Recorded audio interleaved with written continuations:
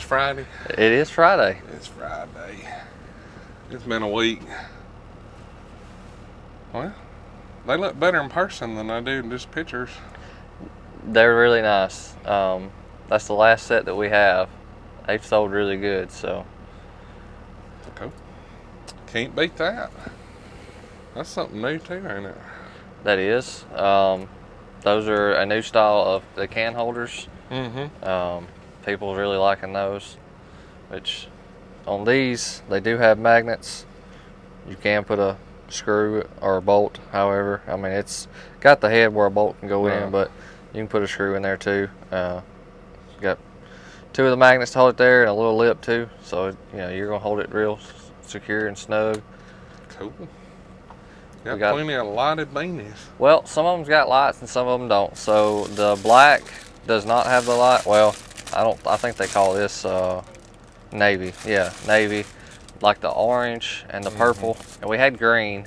Uh, they have lights and the Bluetooth in them. The maroon and the navy just have the Bluetooth. So Right. you really get to pick it the way you want it. Um, the first year we come out, it was either or, uh, and that worked really well. And then the next year, it was only the only way that you could get it was with the light in it. Um, that went okay, but a lot of people was like, I don't, I don't really want the light.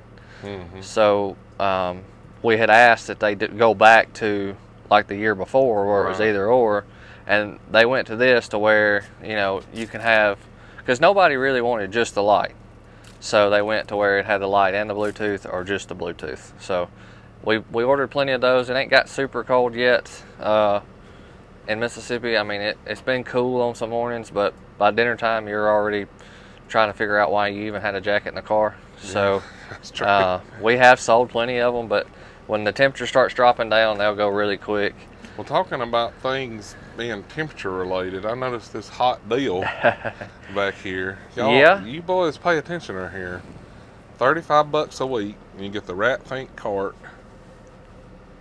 And look at all the goodies in it. So the impacts um, that's up here can actually go along with it. The way it sits right now, it would actually be less than thirty-five dollars a week. Um, but if you put the impacts in there, you're going to be around thirty-five dollars a week. So um, we've And always said digital torque wrench hiding in here too. We do, we do. Um, we always said we'll start the bundle. Uh, and you can either take it or change it up any way that you want it. Uh, we just try to put it in there to, to get your mind working and seeing what you might want or what might need. Uh, Man, that's a good. That's a good setup. You got some good stuff in here. so I can't take credit for this one. Uh-oh. Um, I was actually sick one day.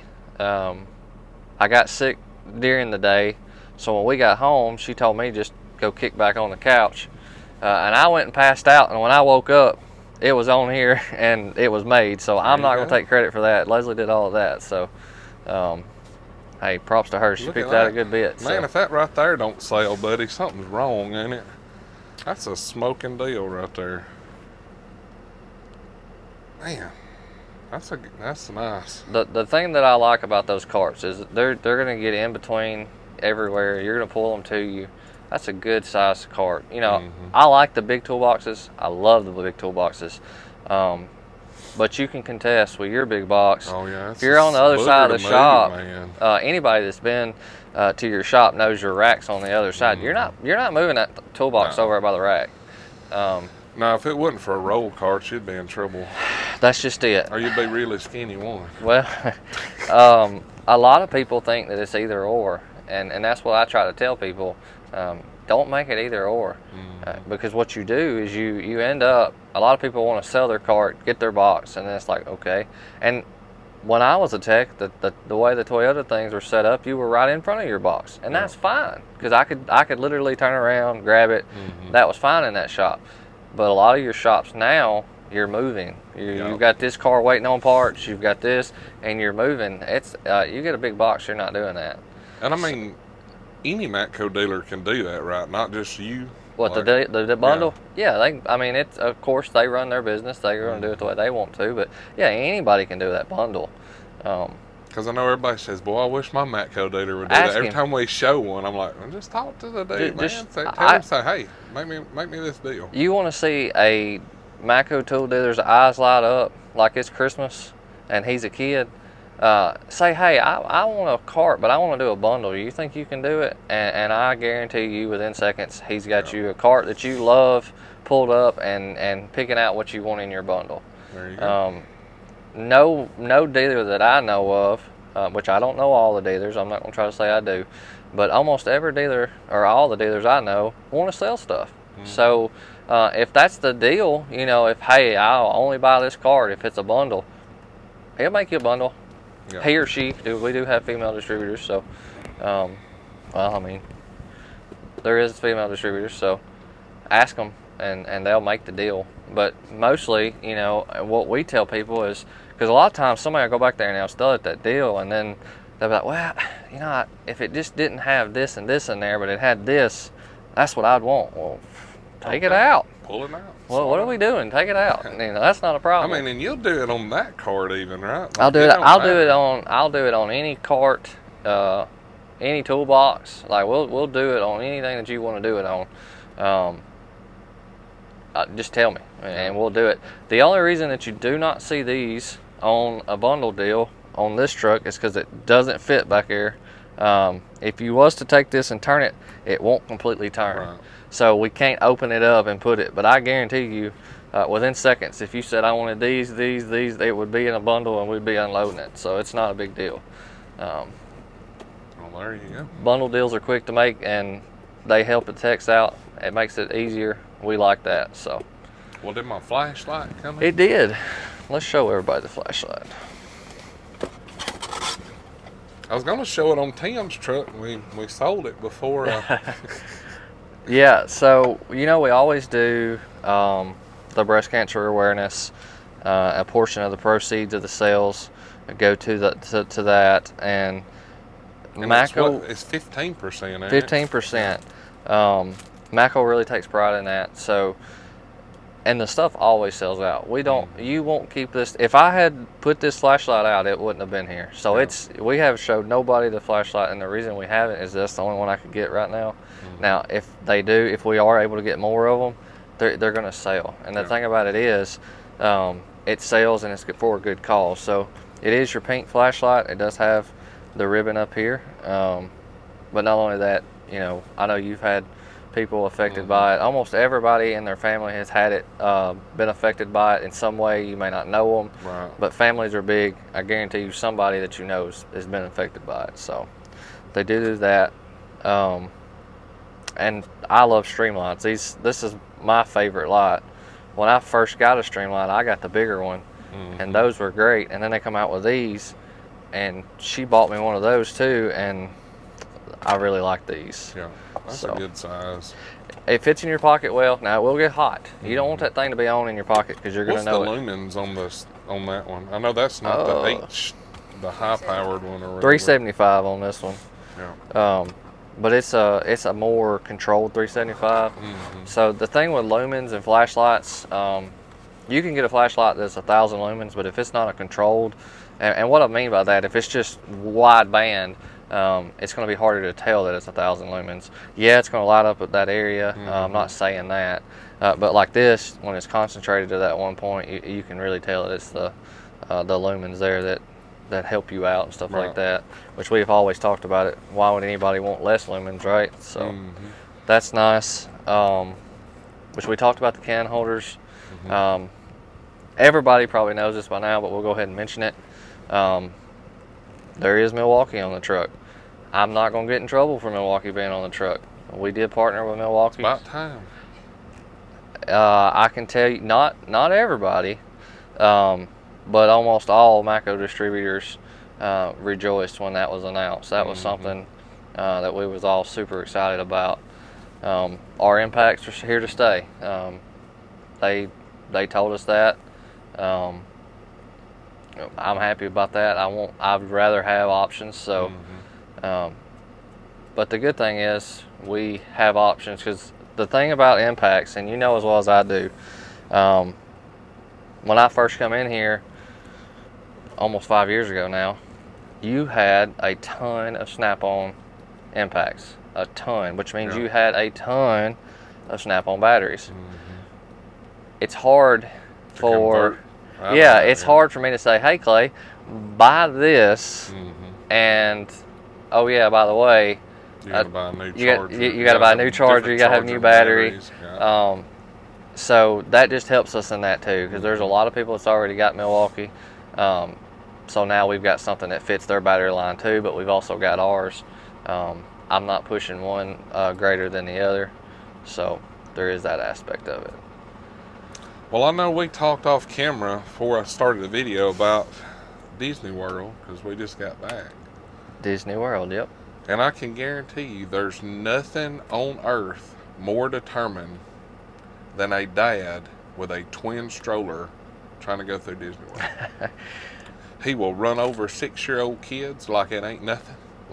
Well, from I've never in my life, from what I hear, that's fixing to be changed. I've never in my life, and you know, it's great that they have the rides there for the disabled people and all this, right? But if you're walking in Disney World, you are definitely the minority because there's more scooters and strollers than there are tennis shoes in that place. I read somewhere- crazy. and I, I read this, and it could be 100% false. I don't know. I've never been to Disney World, never talked to anybody, and I'm not, you know, that's that's just the way it is. Um, I did read the other day where they're fixing to ban strollers and scooters and stuff like that. Now, of course, if you're Right. if you're disabled and you need that, then you're going to have it. They're not taking that away. Um, but Man, but the main reason was the strollers. They said that people are constantly, it's and they said the fights man. and stuff that happen because somebody runs over somebody, knocks somebody down, uh, and an innocent. Um, Like they'll just ram it into you and then be like, "Oh, sorry." Like, look, jackass, I'm standing in line. I can't go no further than the person in front of you. So he, they'll come in there and ram into you, and then when you move over, they just take your spot. see, that's ridiculous. to me, and it we're I'm kind of getting off the tool subject here, but to me, the most overused word is sorry, and the reason Yeah. that I think that is because that and, and my my kids are the world's worst. They know that if they're fixing and get in trouble, they're gonna scream sorry, Mm-hmm. and then that's supposed to fix it. yeah. That doesn't fix anything. You know that that doesn't that doesn't make my ankle feel better that you just run over it with a stroller. And it really doesn't make me feel any better if we've been standing there for 30 minutes and you run over my ankle. Like you've seen me here. Mm-hmm. Um, but and that's uh, you hear it or see it, and Well, they need to put a limit number on the tickets that they sell per day. they are they are to do it just to make the experience more enjoyable Mm-hmm. because it Because you stand in line so long, you waste your whole day standing in line to ride a three minute ride. yeah Like an hour and a half to ride a three minute ride is ridiculous.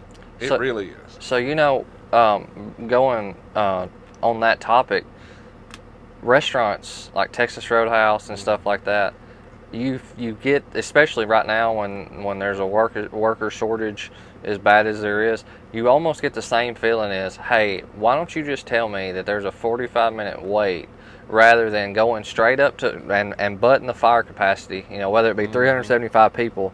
If you can't serve 375 people, don't sit me in this booth. Yeah. and and damn sure don't take my order and not bring me a drink for 45 minutes you know. Just say hey there's there's a 30 minute wait. Yeah there's tables available but we wouldn't be able to get to you. Um, i would hate to know like i said i haven't been there but i'd hate to know that i went to disney world i spent all that money. I've, I've, my time's limited right? Because the park closes. Yeah. um, there's only so many days that i can be there so i paid for five days and i got to ride you know 20 rides well, I'm hoping to ride 300 in, in five days, which I know, you know, that's a Yeah. stretch. But still, if you would say, hey, no, sorry, we've, we've only got this many tickets for today, Yeah. then let me buy them when I can get there. Okay, Yeah, well, look, they're open this week. Can we make this week work? Mm-hmm. Sure can. And you're guaranteed to be on a ride in 30 minutes. Boy, that would be great, wouldn't it? Yeah. I think that's what they should do is figure out how many people that park can hold with about a 30 minutes is plenty to wait, you know. Yeah. And say, okay, we can have 20,000 people in Disney World, you know, with all the parks. That's all the tickets we're going to sell today. Yeah. Like no more. I don't care if you're Donald Trump. Sorry, Hoss, you ain't getting in. You can go spray tan today, come back tomorrow. you know. And that's the way they should do it because it sucked. Well, like think that was the like I enjoyed it because we got to watch her have a good time. Yeah. But that was the only good part. The rest of it sucked. Well, think about how quick you would also get people in and out that way. Mhm. Because here's the thing: if you go to Disney World, every, everything you hear at the end of the day, you're just exhausted. You're wore out. You're grumpy. You're ill. You're just plumb wore out. The kids are ill. They're grumpy. They're wore out. And the main reason is is because you've stood from opening to closing just to try to get some stuff done. Well, what if you went in and you waited 30 minutes for each ride when you Oh, went you'd to eat? done in one day. Yeah, you're You do- know. you're done. And guess what? Tomorrow, you've got Um, another twenty thousand people that can spend that money. Your reviews are going to go up. Yeah. Here we are trying to help Disney World. uh, your rev- take notes on Disney now. yeah, your reviews are going to go up. It's the same way with anything. If if you stretch it out, yeah, they're spending their money on drinks and stuff like that, but you're just getting that ill, grumpy, and nobody's getting to do nothing. I've heard a lot of people say they went, they spent the money, they can't justify it again just because they didn't get to do a whole lot That's exactly and, and, and and the thing about it is, if you went and you spent that same amount of money for one day, but you got to do everything, Exactly. It'd be way better. you would go back next year. I, absolutely. and and that's the thing. And that that's well, I can my tell you, it's better if you got children, you know, six, seven year Yeah. old. Don't even mess with Disney World. Don't even mess with, uh, uh, you know, the Magic Kingdom part. Go to the Continental Hotel Resort. Get a reservation at Chef Mickey's. They got all the characters. They come up to the table, you know, meet your kids and all that. That was more laughs and giggles than the whole park was. well, it's hard for a kid to have fun when Oh, you're yeah. standing in line. It looks like the line's never going to end. Their Mhm. interest is going to come off of it. It sucked. Um, There's one you know, that's that's a part of that. You know, Yeah. it, it is what it is. But and ridiculous prices. Like I understand Disney's going to make money. Like that's their whole existence down there. They can claim it's the most magical place on earth, but it's a money game, right? But when you charge seven dollars and fifty cents for a bottle of water, you have reserved a special place in hell for you. When it's ninety degrees outside and you got children, like that's ridiculous. Well, you know, you, you, you basically what you said. You, you spent all that money to get there. Mhm. You're already there. You, you're going to spend the money because you got to take drinks. So it's kind of controlling it to where you have no other option. Mhm. Um, not the best idea in the world, but uh, they're not there. They can say what they want to. They're not there just to make people smile and Oh, laugh. no. Uh, it's got to be to make money, It's, and it's all about they're making the it money. hand over fist for sure. So. For sure. All right, guys. So we've taught you about tools, taught you how to save money on a roll cart, and taught you how to fix Disney's issues and save some money going to Disney World. So, what else could you ask for in one video? All right, guys. Well, thanks for hanging out with us. Hopefully, you learned a little something about Disney. If you want to go, don't. It's simple. And uh, if you like the video, hit that thumbs up. Check over for merchandise, cool tools, and discount codes down here. If you're not subscribed, click that button. Y'all have a great weekend. See ya.